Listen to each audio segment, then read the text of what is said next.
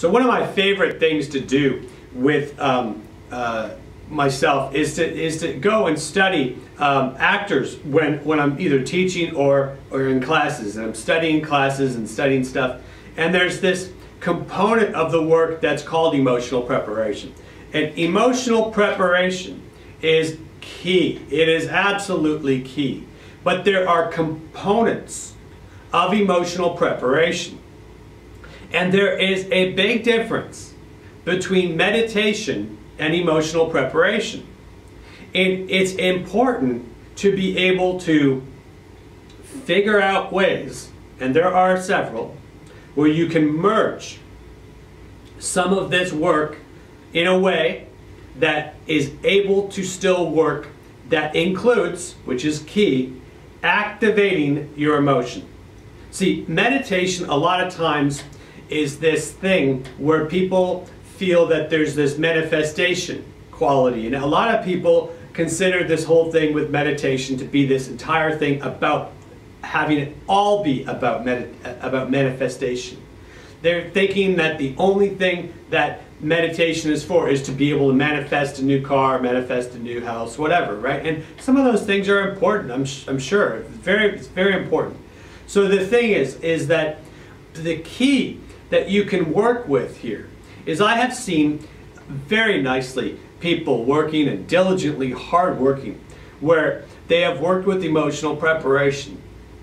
And and the thing is is that a lot of times though they'll feel like they'll go into they'll figure out something with meditation and they'll understand that there's like this like act there's this thing that's working in them there's something that's kind of actively like festering, that they're, that they're able to get some of that emotion and the emotion kind of stays in them, right? But there's this whole difference between meditation and there's a difference between emotional preparation. Now, emotional preparation, I would consider in the larger scheme, it's every single thing having to do with activating your emotion, preparing for the emotional ballpark, uh, possibly um, going in very deeply several different times to an emotion, trying to get an emotion. It's there's a component of crossover when with meditation and emotional preparation that have to do with relaxation, the ability to relax in the impulses. And there's these but there's these differences, right? The thing is is I've seen actors and they've literally been in a situation where they're meditating out. Right? Their emotional preparations or they, they've been able to figure out some sort of activation. And then they meditate that out. They meditate this thing completely outside of them or they try and manifest a reality that they're trying to implement on the actor. Now, this isn't the most fluid thing to do because when when you're trying to, you know, you could, I mean, there's all sorts of ways to work and, and I'm, I'm careful to say that there isn't but the reality also includes that see meditation isn't if you're not trying to predestine what it is that's going on in your acting work. And this is the most difficult thing because actors need to be able to get the activation of their emotion active in them there are links in that description that you could actually use to improve your acting. You can help to, it can help you to improve your creativity. So there are, are um, independent activities, there are reasons at the door, there's lists of programs, there's um, lists of emotions, there's programs that you can do, and there's also ways that you can actually contact me for private coaching. So listen, please do yourself a favor and check that out. You know, right down there in the description box. And that's the number one priority of emotional preparation. But meditation brings a quality of manifestation and a quality of um, hope, sometimes relaxation that will, by merging some of those, sometimes it can kind of like help the actor relax so that their emotions able to be activated which is which is true, which is very very good. But the thing is, you then what will happen is a lot of times they'll keep working with this meditation and meditation and meditation, and then all of a sudden their activation will come and go, and it will just it will it won't be there anymore. They'll come and work in their acting, and they won't have an active emotion. So this is, is an important topic. This is a very very important thing because. Um, it's been heartbreaking sometimes. I can say stuff in classes, sometimes I can't. Depends if I'm teaching. Obviously, I do when I'm teaching. When I'm teaching, things are very alive and very uh, on point to try. Or at least I try. I work very hard. And the thing is, is that the key about this whole construct is you want to be able to get this balance and balance so that you're not just meditating and, and you are doing the emotional preparation. And the emotional preparation is true, it's finding emotion. And I've got this incredible video on emotional um, meditation, on how to describe emotional meditation, which is basically the ability to build up and, and with relaxation techniques and the ability to really be able to allow that infrastructure of that emotional ballpark to really come and fill you up, right? So you're filling yourself up with that emotion. But the absolute key to emotional preparation is activation. So you're going in a side on a back lot, in a studio lot, on um, in a film set, in a uh, whatever theater setting, and you're going into your emotional preparation. And you're capable of understanding that there's a difference between emotional meditation and emotional preparation. And then the key thing about this is understanding that there's a big difference between the prep work that you do for emotional preparation, right? Because that's a lot of like, you know, there's a little bit of thinking involved. You know, you want to think and plan stuff out. But the thing is, and then there's the actual emotional preparation, which involves the emotional activation. And that's the actual where the rubber meets the road, which is activating that emotion. It's activating that emotion. So then there's this construct of, of working and doing this dance within yourself, right? So you got you starting to understand the difference between meditation and emotional preparation. And the point of emotional preparation isn't to be able to find a good deep spirituality, which is fantastic to do. It can help your acting in many different ways, but it's a different exercise. So when you when you work with that, you want to do that on a different different kind of situation because you want to be able for your acting to be able to find that activation. So then we're at the point now where we're understanding that then there's this song and dance that we have to do with ourselves. We've done our emotional preparation. We have an active emotional preparation. Something emotionally is coming up from us. It's not just a fleeting feeling. It's not just a thought. It's not just some kind of uh, um, fleeting instinct. There, there could be instincts with it. There could be feelings with it, but it's a deeper feeling. It's an emotion. And that emotion is starting to come out of us.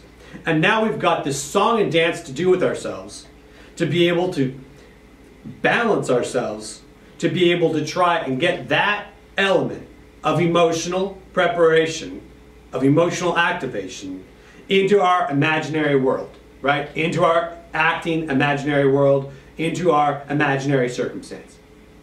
So we then have to still work with components of relaxation to be able to get that that construct of the flood coming up. Now this could be a flood of tears. But the thing is, is we don't want to just sit in the back crying our eyes out because we've got activation, although that might be very healthy to release it. it the reality is, is we want to be able to put that into our work. So we've got to juggle ourselves in a way that's capable of getting that activated quality into our work. So the first a lot of acting exercise, the first thing is the knock. So I, I absolutely think that if you're working an acting exercise, you put that emotion completely into that first knock. You absolutely put that in. And then you work so that your first moment is receiving the other person. And then this is a great moment because if you're focused on receiving the other person, what's going to happen is that now all of a sudden you've got and you're starting to receive, not only have you received what it is that you've activated, now in real time, you've actually stirred up the activation, you have the activation, and you're receiving your partner. And now what you activated in your emotional preparation and your emotional activation is all of a sudden mixing with what you're receiving with your partner. Now, this is ideal. This is ideal. And see how different this is than meditation. See, this is now interaction. See, now we've been able to work with this construct and, and deal with these things, which include these components of relaxation to be able to juggle this thing to get, to get this activated emotion into the acting work. But then once we start receiving our partner, then, you know, of course there might be strong times where we might have like quite a strong knock because we've got this, this, this strong feeling. But even when you've got a strong feeling, you want to try and see, to see if you can receive your partner.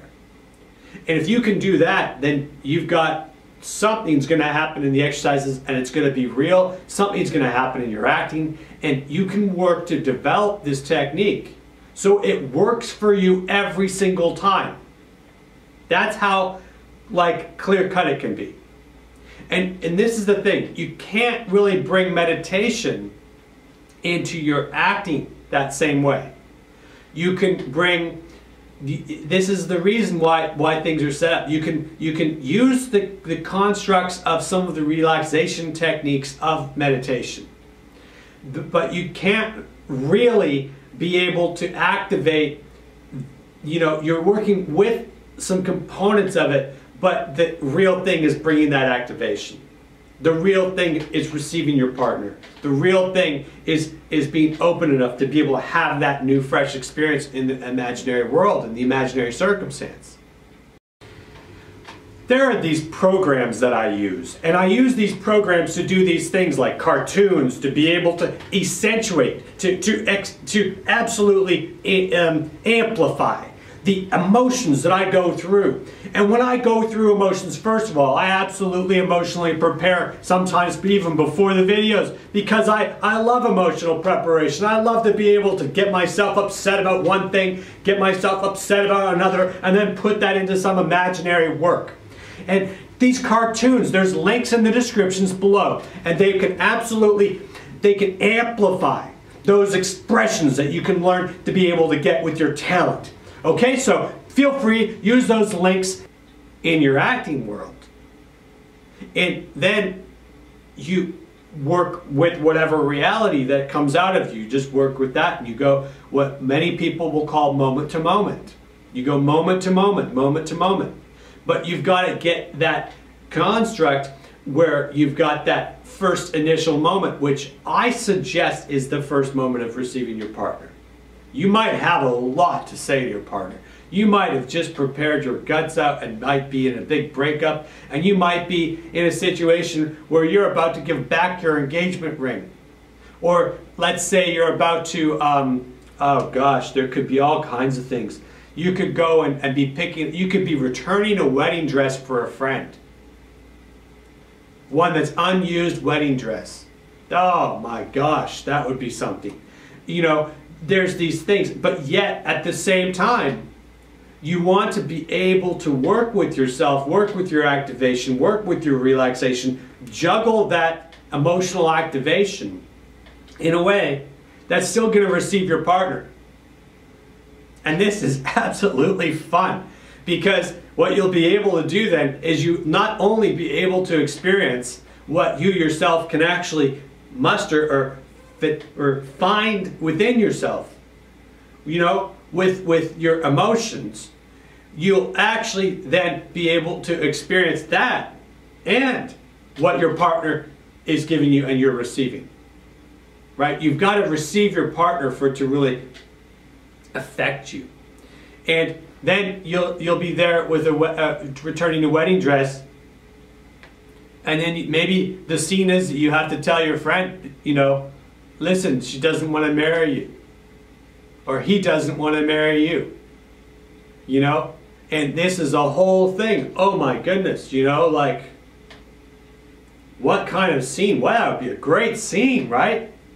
Why doesn't anybody write it? Why don't you contact me? We'll write it in. We'll, we'll work on the project. Listen, this is the way that you get ideas to be able to actually work with.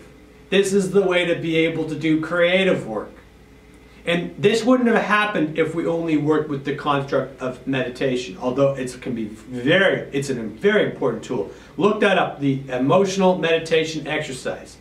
And, you know, boop the like button if you would, and let me know what it is that I can do for you in your work and what kind of questions you can ask me and, and let's figure this out and work on stuff and, and you know look it would be a great scene absolutely great scene to be able to return a wedding dress of a friend to your sister right your, your best friend doesn't want to marry your sister and they're asking you to return the wedding dress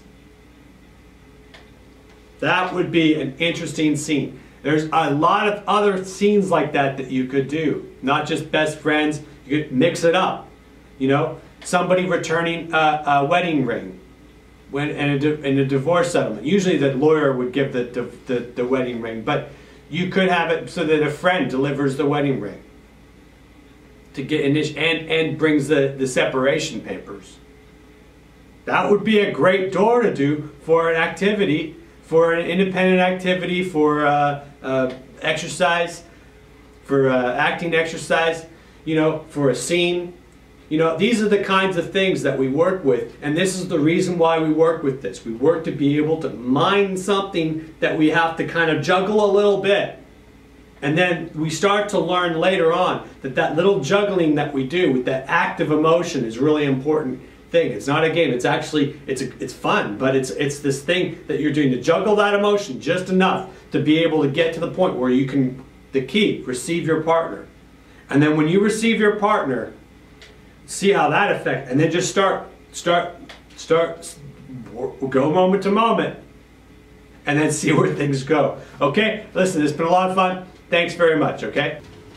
Okay, so I teach people how to get upset. I have a lot of fun teaching people how to literally, purposefully upset themselves. Actually waking their own activations up so that they're emotionally activated. There's something that they can get upset about within a ballpark of emotion. But the key, the absolute key, is I don't want you to carry around that stuff in your life. That's what's called acting baggage.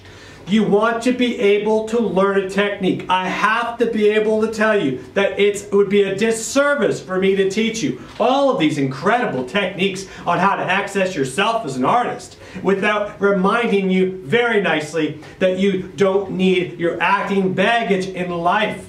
So feel free work on processes where you have a release time after you're doing your acting. And what this will do is it will actually amplify your work because it will give your acting muscles the break that they need in order to get the rest that they need so that your work will be even stronger. Okay? Thanks very much.